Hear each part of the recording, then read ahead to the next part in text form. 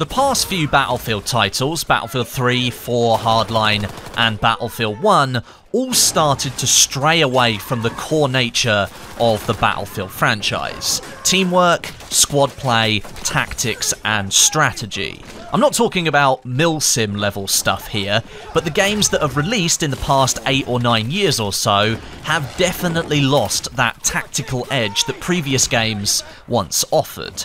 Battlefield 5 is looking to turn back the clock a little bit here and reintroduce those team and squad play mechanics that lead to tactical and strategic gameplay. But does that mean that players of the game will adapt properly? The danger with introducing significant change to a long-standing franchise, as we saw with Battlefield 1, is that sometimes that can alienate previous fans or simply not be to the liking of many players who have played previous titles.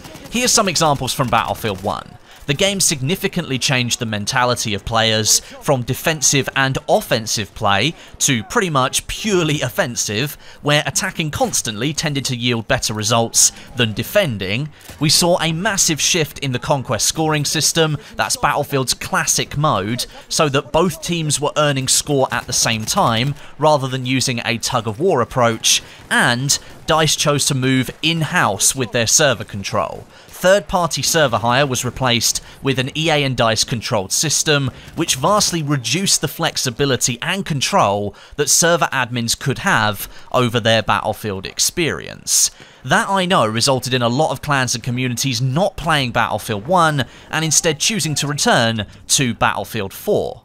These changes are newer, of course, and they are specific to Battlefield 1, but you compare that to the gradual decline of team play and squad play over the years, which, while many long-term fans have been very vocal about and didn't like to see, that's almost become the accepted direction of Battlefield games now. So when I talk about significant changes alienating fans, this return to more tactical and strategic play, whilst I see it as a great step in the right direction for the franchise, many players who have joined the community in the last few years might now feel this is a step in the wrong direction. DICE certainly has got its work cut out with Battlefield 5 here. Battlefield 5's direction is squarely based around squad play, working with other players to use their archetype strengths to supplement your own, or to have other players rely on you and your actions to keep the squad alive and moving forwards. There are so many new features in Battlefield 5 that link into this squad play mantra, some that we don't even know about yet, but I'm going to list as many as I can that I've got in my notes here so that you can get some idea of what DICE is really planning for this game. First of all, any squad member can now revive other squad members using the new Buddy Revive system. This is a properly physical animation now, no more sticking syringes into lifeless bodies, and it takes a good few seconds to complete and revive your squad mate. Once revived, they only return to a limited health amount, and they'll need to find a medic if they want to heal back all the way up to 100. And this leads me nicely into my next point about squad play, there's no health regen in Battlefield 5. Health regen will be distinctly different to previous titles here. Now DICE hasn't officially stated at what level that health regen actually stops, but after a certain point you will no longer automatically regenerate health and instead you need to go and find a medic for your healing ability. You can also head to any of the objective points on the map that you're playing and find a healing station where you'll be able to heal up fully as well, but running around and entering gunfights with half health is going to result in quite a few more deaths if you're not paying attention to your health bar. I've spoken about the Buddy Revive system. The Medic class and its archetypes will retain a full revive mechanic, which is different to the Buddy Revive.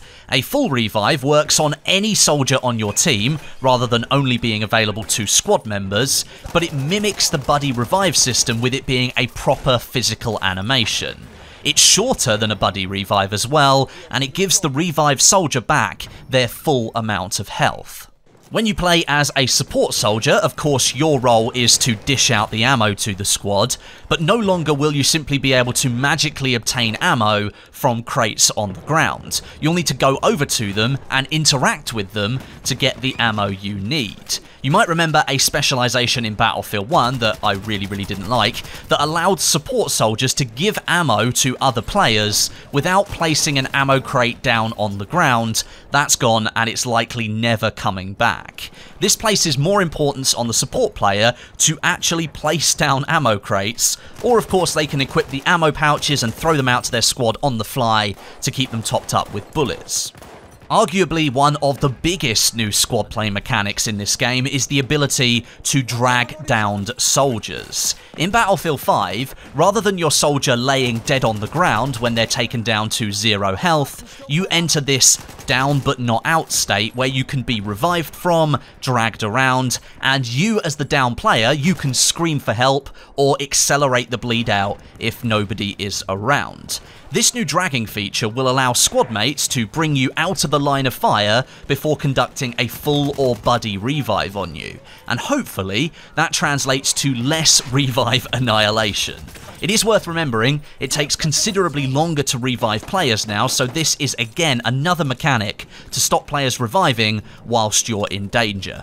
The support soldier also holds the power within the squad to build fortifications faster than any other member, although any player on the map at that time has access to the toolbox and can build fortifications. It's just the support soldier can do it a little bit quicker.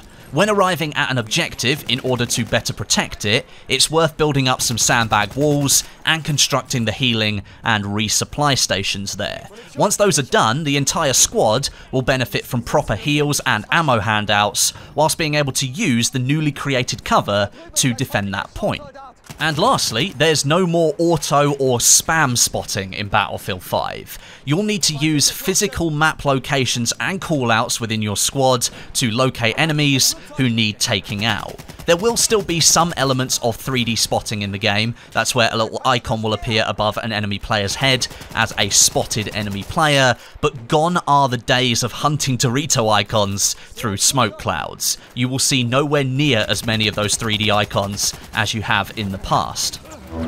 That's the list of new systems that I've got the DICE is implementing into Battlefield 5 to change up the combat loop from previous games. This doesn't mean that the pacing of the game is really that much different to Battlefield 4 or Battlefield 1, it's still the high-octane action that you've come to expect from Battlefield games, but these new elements will make you conscious about your decisions and make you aware that your squad both matters to you and you matter to it. My one fear from all of this squad play integration, however, is purely the players, us, the community. Will we actively engage with all of these new systems or will we simply stick to what we know from past titles? Will we actually use the Buddy Revive system, knowing that a medic can revive that fallen player much faster?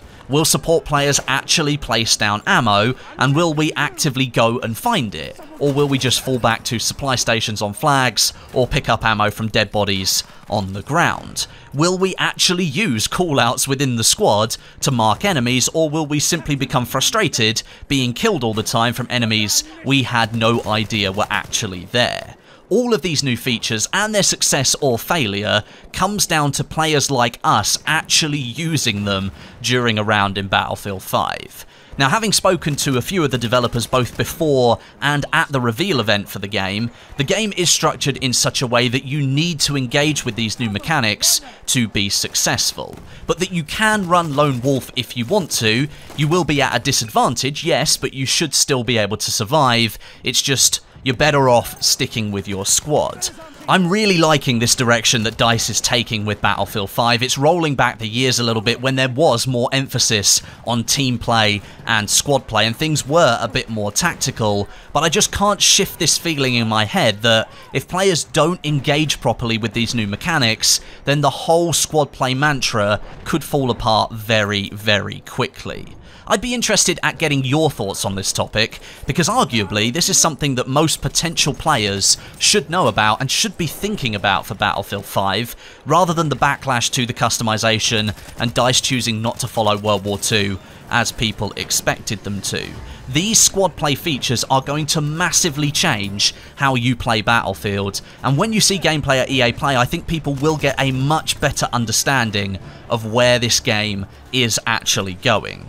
But thank you very much for watching anyway. Do leave some comments down below in the comments section. I'm really interested to hear what you think. Make sure you subscribe to the channel with notifications switched on so you don't miss any of my videos next week coming from Los Angeles where I'll be covering Battlefield 5 at EA Play. And that gameplay reveal, obviously. But until next time, my name is Westie, and I'll catch you guys in the next video.